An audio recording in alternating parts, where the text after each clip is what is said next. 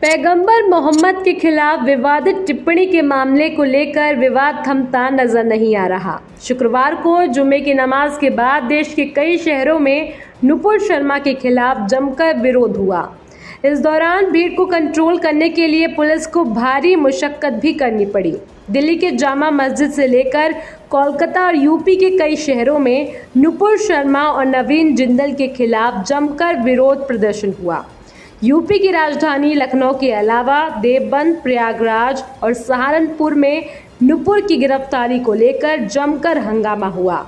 देवबंद में पुलिस ने प्रदर्शनकारियों को हिरासत में भी लिया। जामा मस्जिद में प्रदर्शनकारियों ने नुपुर शर्मा और नवीन जिंदल पर कार्रवाई की मांग की। साथ ही लोगों ने जमकर नारेबाजी भी की।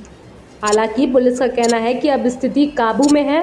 जामा मस्जिद के शाही इमाम का कहना है कि उन्हें इस विरोध प्रदर्शन के बारे में कुछ पता नहीं था और ना ही मस्जिद की ओर से कोई विरोध प्रदर्शन बुलाया गया था। वहीं जुमे की नमाज़ के बाद यूपी के लखनऊ, प्रयागराज, सहारनपुर और देवबंद में नुपुर शर्मा के खिलाफ विरोध प्रदर्शन हुआ।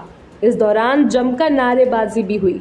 देवबंद में पुलिस ने कुछ लोगों को हिरासत में भी ले लिया। पुलिस को लोगों को नियंत्रित करने के लिए भारी मशक्कत करनी पड़ी। मुरादाबाद के मुगलापुरा क्षेत्र में जुमे की नमाज़ के बाद अचानक कुछ लोगों ने चौराहे पर आकर प्रदर्शन किया। आपको बता दें कि बीजेपी से निलंबित प्रवक्ता नुपुर शर्मा ने एक टीवी डिबेट में पैगंबर मोहम्मद पर विवादित टिप्पणी की थी। इसके बाद विवाद काफ़ी बढ़ गया था। यहाँ तक कि अरब देशों ने भी नुपुर शर्मा की टिप्पणी की निंदा की थी। इसके बाद बीजेपी ने नुपुर शर्मा को पार्टी से निलंबित कर दिया। विवाद बढ़ने के बाद नुपुर शर्मा ने भी माफ़ी मांगी थी और अपना बयान वापस लिया था।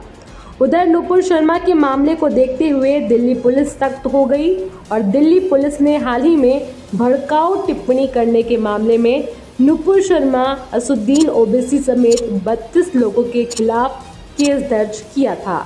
जनता की आवाज़ यूट्यूब चैनल को सब्सक्राइब करें, साथ ही बेल आइकन ज़रूर दबाएँ।